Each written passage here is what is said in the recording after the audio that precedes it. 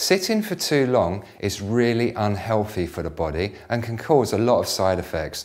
The main ones being low energy expenditure, a reduced metabolism, and poor posture leading to a lot of back issues.